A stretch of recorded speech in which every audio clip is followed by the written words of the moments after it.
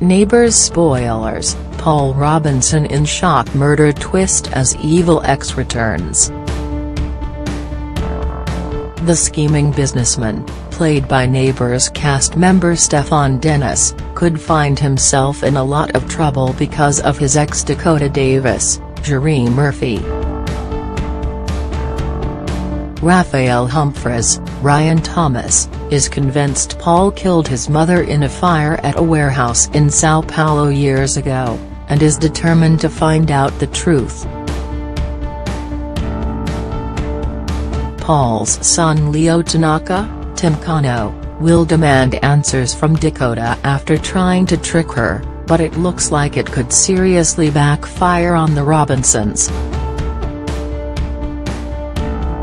Speaking to Daily Star Online, Sheree teased, Leo is going to probe Dakota a little too much so she will cotton on and confront him. He threatens to go to the police, but Leo has underestimated her she is way too slippery. Sheree also hinted Dakota has the power to punish Paul for his crimes.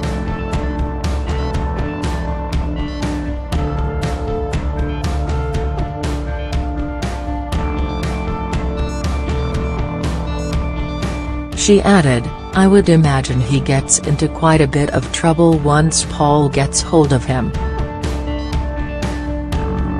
Something has gone on there, with the fire, and she isn't keen to say what, so it must be something quite bad.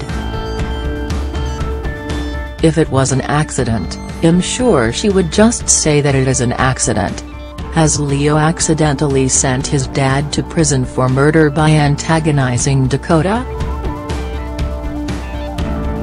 Sheree continued, something has happened, and she is simply trying to save her own back, because she is selfish.